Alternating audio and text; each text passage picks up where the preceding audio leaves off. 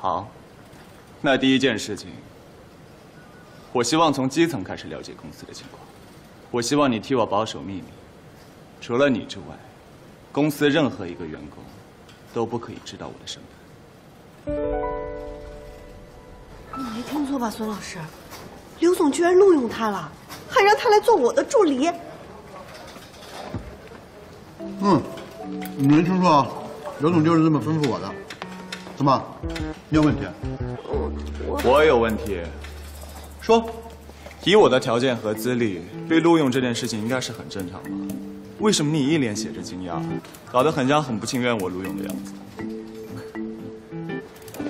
孙老师，孙老师，你听我说，你怎么能让他来做我的助理呢？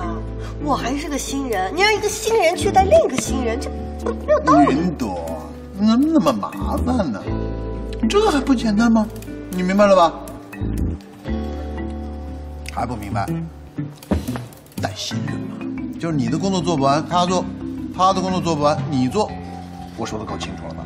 哎，孙老师说的非常清楚，明白，完全明白。你看看人家新人多上道，好好学着点啊！行了，我不跟你们扯了，你们俩好好聊聊啊，好好聊聊。哎，孙老师，孙老师，我还没说完呢。